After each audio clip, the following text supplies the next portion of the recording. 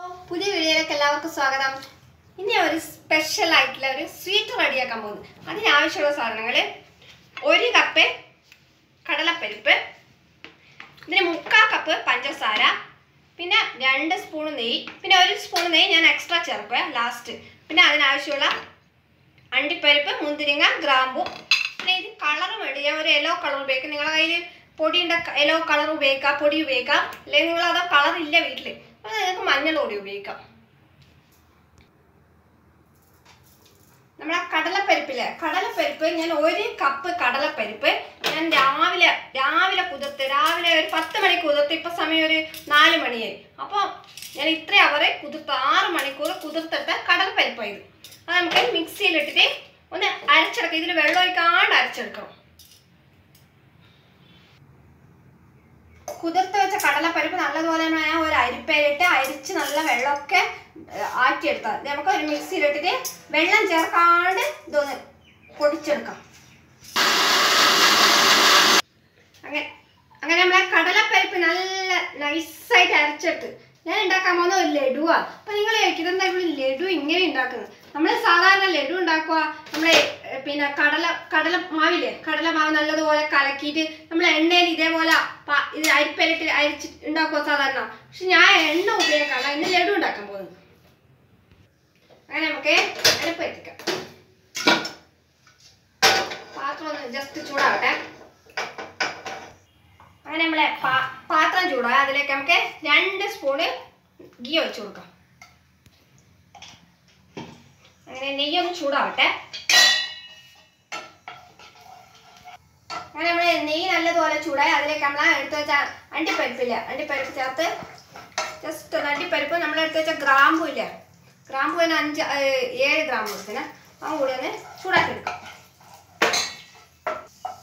അങ്ങനെ നമ്മളെ ഗ്രാമ്പു നല്ലതുപോലെ ചൂടായി അത് നമുക്ക് ഒരു പാത്രത്തിലേക്ക് മാറ്റാം. അങ്ങനെ ഇതേ നെയ്യിലേക്ക് നമ്മൾ അരച്ചു വെച്ച ഇതില്ല നമ്മളെ കടലപ്പരിപ്പ്. നല്ലതുപോലെ മിക്സിയിലിട്ട് അരച്ച് ചേർത്തിട്ട് നല്ലതുപോലെ മിക്സ് ചെയ്ത് കൊടുക്കാം.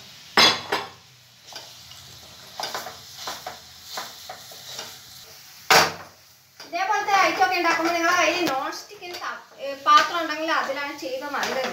അല്ലെങ്കിൽ നമ്മുടെ മറ്റേ പാത്രം ഇല്ല അലോയിന് പാത്രത്തിലാകുമ്പോൾ ഇങ്ങനെ ചെയ്യുമ്പോൾ പെട്ടെന്ന് അടിക്കൊഴിക്കാൻ ചാൻസ് ഉണ്ട്.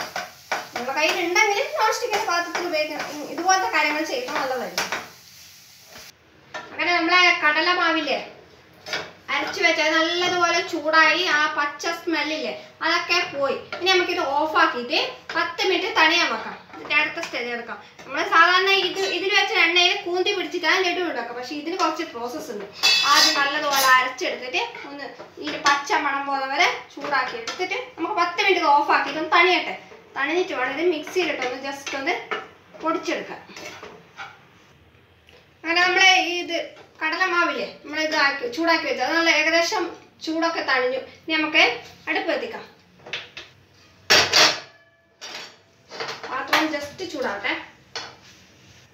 അങ്ങനെ പാത്രം ചൂടായാലേക്ക് നമുക്ക് നമ്മളെ മുക്കാൽ കപ്പ് പഞ്ചസാര. നിങ്ങൾക്ക് മധുരം കൂടുതൽ ലഡുവിന് വേണ്ടിക്ക് കൂടുതൽ ചേർക്കാം. ഞാൻ ഓൾറെഡി ഒരു കപ്പ് കടലമാവിന് മുക്കാൽ കപ്പ് പഞ്ചസാരയാണ് ഉപയോഗിച്ചത് ഈ നമ്മളെ ഈ പഞ്ചസാര മുങ്ങി കിടക്കുന്ന ആവശ്യമുള്ള നമുക്ക് വെള്ളം ഒഴിച്ചു കൊടുക്കാം ഒഴിക്കണ്ട പഞ്ചസാര എത്ര മുങ്ങി കിടക്കുന്ന വെള്ളം ഒഴിക്കാവുക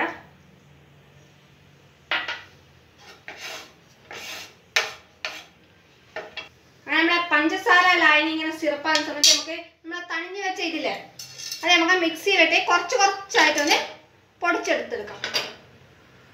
കൂടുതലിട്ട് എടുക്കാം. അല്ല കുറച്ച് കുറച്ചായിട്ട് നമുക്കൊന്ന് ജസ്റ്റ് ഒന്ന് പൊടിച്ചെടുക്കാം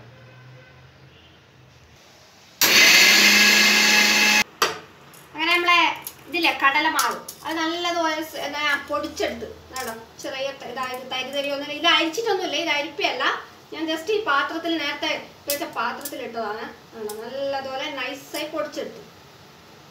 നമ്മുടെ ഷുഗർ സിറപ്പ് ഒന്ന് റെഡി ആവട്ടെ? ആയില്ല.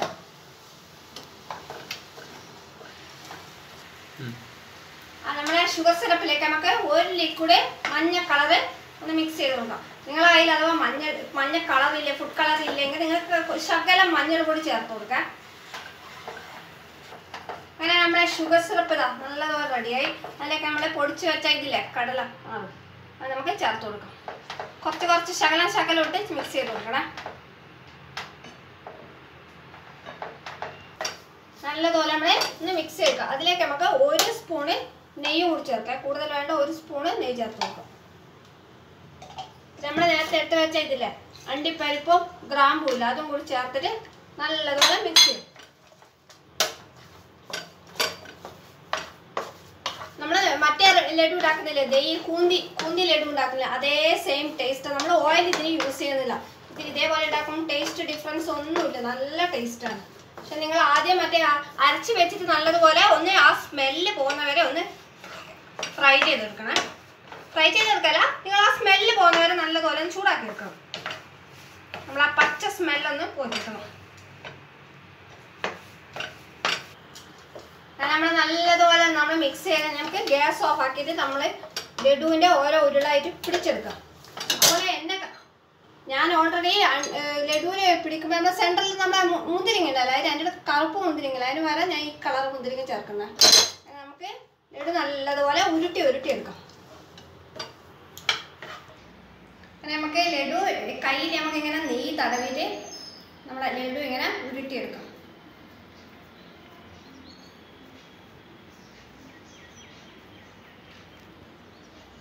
ഈ മുന്തിരിങ്ങയില്ലേ നമ്മൾ എടുത്ത് വെച്ചത്. നമ്മുടെ കറുപ്പ് മുന്തിരിങ്ങയിൽ ഓൾറെഡി നമുക്ക് ഈ ലഡു ഉരുട്ടുന്നതിൽ നമുക്ക് ഒരു മുന്തിരിങ്ങ വെച്ച് കൊടുക്കാം.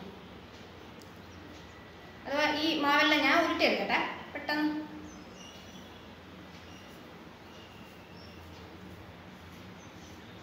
നമ്മൾ ബേക്കറിയിൽ നിന്ന് വാങ്ങിക്കുന്നില്ല അതേ സെയിം ലഡുവിന്റെ ടേസ്റ്റ് നമ്മൾ കൂന്തി പിടിക്കുന്ന ലഡുവിന്റെ ഇതിൽ നമ്മൾ ഓൾറെഡി ഓയിലിൽ ഫ്രൈ ചെയ്യുന്നില്ല നമ്മൾ കൂന്തി പിടിക്കുന്നില്ല. അതിന് അതിന് പകരമാണ് നമ്മളിങ്ങനെ പ്രോസസ്സ് ചെയ്തു ഞാൻ ചെയ്യേണ്ട കണ്ടില്ല? നല്ല നല്ല ടേസ്റ്റാണ് ഒരു മറ്റേ സെയിം അതേ ലഡുവിന് നമ്മുടെ നല്ല സ്പെഷ്യൽ ലഡു വാങ്ങിക്കുന്നില്ല. അതേപോലെ നല്ല സോഫ്റ്റ് ലഡു. അങ്ങനെ നമ്മൾ ലഡു ഒക്കെ റെഡിയായി നമ്മൾ ഓൾറെഡി ഒരു കപ്പിന് പതിനഞ്ച് ലഡുവാണ് കിട്ടിയത്. നല്ല ടേസ്റ്റാണ് നമ്മൾ സെയിം ബേക്കറിയിൽ നിന്ന് വാങ്ങിക്കുന്നത് നമ്മൾ കൂന്തി പിടിക്കുന്ന അതേ സെയിം പ്രോ ടേസ്റ്റാണ് വരുന്നത്. അപ്പം വീഡിയോ ഇഷ്ടപ്പെട്ടാൽ കമന്റ് ചെയ്യാൻ മറക്കരുത്. വേറെ എന്താ വീഡിയോ ഡിഫറൻസ് ആയ വീഡിയോ ആയിട്ട് അടുത്ത തവണ കാണാം. സബ്സ്ക്രൈബ് ചെയ്യാൻ മറക്കരുത്.